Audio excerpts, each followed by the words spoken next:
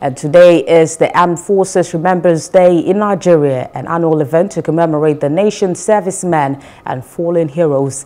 The event, celebrated on January 15 every year, also honors the veterans of World War I and II, as well as the Nigerian Civil War. Amid the celebration in Abuja, the president led a Lane event and reviewed a presidential parade at the National Arcade in Abuja.